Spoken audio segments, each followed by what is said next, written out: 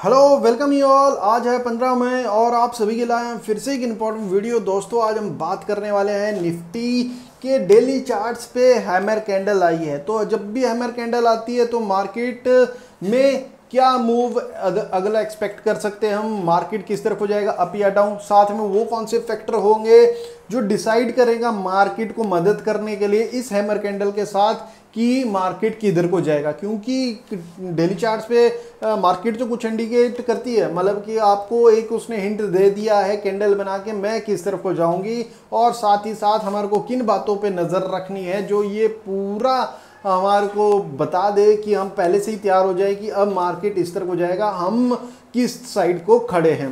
तो अगर आप डेली चार्ट पे देखो तो ये ला, कैंडल बनी है, ये कैंडल है, हैमर टाइप कैंडल जो आज की डेली चार्ट्स पे बनी है ये। तो इसका मतलब क्या होता है? पहले हम ये जान लेते हैं। तो वहीं देखेंगे, इसका मतलब होता है, बुलिश ट्रेंड में रिवर्सल हमारे को दिखने वाला है और इसकी स्मॉल बॉडी और लॉन्ग टेल होती है। स्मॉल बॉडी ये होगी और इसकी लॉन्ग टेल ये होगी, जिसको हम शेडो बोलते हैं। मतलब bottom is hammered and price is going to up तो मतलब कि ट्रेंड होगा यहाँ से रिवर्सल इस कैंडल बनने के बाद और हमारे को मार्केट अप जाता हुआ दिख सकता है। पर वहीं अगर हम देखें इसके थर्टी मिनट्स के चार्ट पे जहाँ इसकी पूरे दिन की स्टोरी है, यहाँ से यहाँ तक ख़त्म हुई। तो कैसे ऐसे गया चार्ट? वहीं देखोगे तो आप, यहाँ सारी एवरेजेस वॉल्यूम है और वॉल्यूम के ऊपर का ये एवरेज जो लाइन है, ये बनी हुई, ये दिखाती इससे ऊपर का, इसमें जिसमें अच्छा वॉल्यूम था। तो फ़र्स्ट टू कैंडल में हाई वॉल्यूम्स दिख रहे हैं और लास्ट थ्री कैंडल्स में आपको हाई वॉल्यूम दिख रहे हैं। तो आप देखोगे सिर्फ़ एक ही कैंडल ऐसी है ग्रीन कलर की, जिसमें हाई वॉल्यूम है। बाकी आपको जो जितनी भी रेड कैंडल्स मैं आपके सामने मार्क कर रहा हूँ तो चार आपको दिखेगी अबव द एवरेज और only one green above the average इसका मीन्स क्या? मतलब कि बेयर मार्केट कहीं ना कहीं ज़्यादा हावी पड़ रही है बुल मार्केट पे। तो यहाँ पे तो हम चार्ट पे देखेंगे तो वो बुल मार्केट ज़्यादा हैवी पड़ रही है और लास्ट कैंडल क्या बनाई इसने? लास्ट कैमल भी ये है इन्वर्टेड हैमर तो डबल हैमर कैमल हमारे को देखने को मिली है। आज एक हैमर और दूसरी इन्वर्टेड हैमर इसका मतलब क्या होता है? ये भी अगर आप देखें स्मॉल बॉडी और लॉन्ग टेल होती है इसकी। आ, आ, एक सेकंड ये क्या हो गया स्लाइड में? हाँ ये देखिए आप इसकी small body and long tail होती है और ये लुक करता है हैमर के टाइप इसलिए हम उसको बोलते हैं इन्वर्टेड हैमर्स और वहीं इसका मतलब क्या होता है? Buyers are back and in the game seller are exhausted मतलब कि सेल मारने वाले बेच बेच के थक गए हैं, पर वहाँ बायर्स कंटिन्यू आ रहे हैं। तो दोनों कैंडल्स देखें, हम पूरे दिन के हिसाब से देखें, या फिर एक दिन की पूरी कैंडल देखें तो दोनों में, एक में हैमर और दूसरे में इन्वर्टेड हैमर तो ये कैंडल कम बनती है? इसका ये कब होता है? जब डाउन ट्रेंड होता है, उसके बाद ये कैंडल आती है तो मतलब कि अब हमारे को अपवर्ड मूवमेंट देखने वाला और वहीं अगर आप देखो तो यहाँ पे डाउनवर्ड मूवमेंट है, हमारे को देखने को मिला, और उसके बाद ये कैंडल मूवमेंट आई है। तो मतलब कि अब प्राइस ऊपर जाएगा। तो थर्टी मिनट्स के चार्ट में भी वो दिख रहा है, और वनडे के चार्ट में वो दिख रहा है। अब फैक्टर्स जो इसके साथ स्पोर्टिंग रहेंगे, क्योंकि हमारे को ये भी जानना ज़रूरी होता है। फैक्टर्स क्या? स्पोर्टिंग जो हमारे को जिस पे नज़र रखनी है जो डेफिनेटली मार्केट का ट्रेंड बदल देते हैं।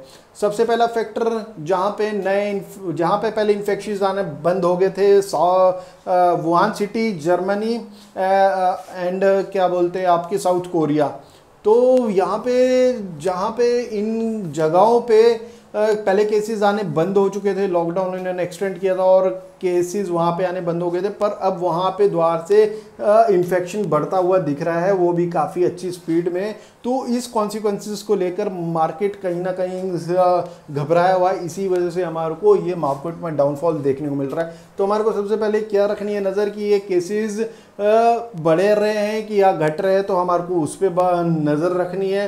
और किस स्पीड से बढ़ रहे हैं? और दूसरी बात, जो चाइना और यूएस के बीच में कॉन्सिक्वेंसेस चलते आ रहे हैं फ़ेज़ वन डील को लेकर, वो बढ़ते हुए नज़र आ रहे हैं और ट्रंप ने तो अभी कुछ स्टेप्स और उठा दिए हैं कि जितनी पेंशन्स में उनके डिपॉजिट्स से पैसे वो वापस निकाल रहे तो अगर ग्लोबल मार्केट पे इसका प्रेशर आएगा तो डेफिनेटली हमारे पे भी इसका असर देखने को मिलेगा इंडियन मार्केट्स पे, और निफ्टी फिफ्टी में डाउनफॉल आ सकता है। तो वहीं बायर्स जीत रहे थे, गेम वहाँ ये फैक्टर्स है जो बायर्स को मतलब कि बिगड़ती हुई स्थिति देख सकते हैं और मार्केट नीचे जाता हुआ हमारे को दिख सकता है।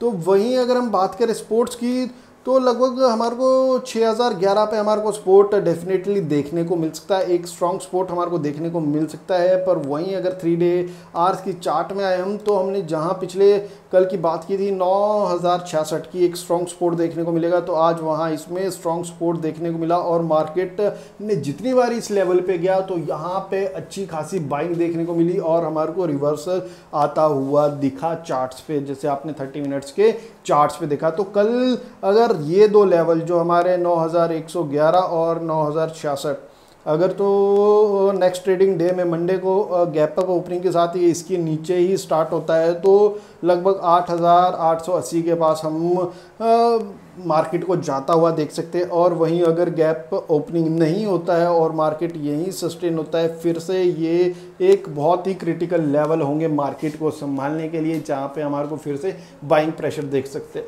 तो अगर आप निफ्टी में पुट वारों की आप कॉल लेते हो तो तो आपको ये लेवल्स डेफिनेटली देखने हैं। यहाँ पे आप एंट्री किस साइड को कर रहे हो?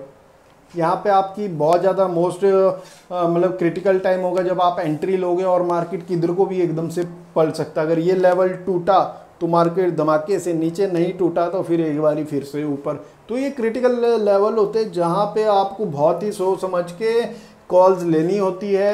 पुट लेने होते हैं तो इन पॉइंट्स को आप छोड़ दिया करिए। अगर आप इसके ऊपर लेते हो मतलब कि अगर मान लो मार्केट ऊपर खुलता है 9200 के आसपास तो आपको एक चांस मिल जाएगा डेफिनेटली अच्छा कि आप उसमें निफ्टी में शॉर्ट सेल करें और नीचे आते हुए मार्केट आपको डेफिनेटली दिखेगा। पर अगर आप नौ हज़ार छियासठ की रेंज में पुट और कॉल के कॉल्स लोगे तो आप दुविधा में अपने को पाओगे।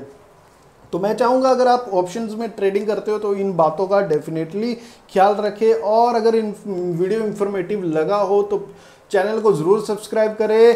कमेंट्स में अपनी क्वायरीज पूछिए कमेंट्स नहीं है तो अपना स्माइली छोड़ दीजिए। यार स्माइली से पता लगता है मैंने किस हिसाब से आपके लिए वीडियो प्रिपेयर किया, आपको पसंद भी आया नहीं आया। और मोटिवेशन के लिए लाइक बटन डेफिनेटली दबाइए एंड अपना ख्याल रखिए अपने परिवार का ख्याल रखिए and thank you for watching the video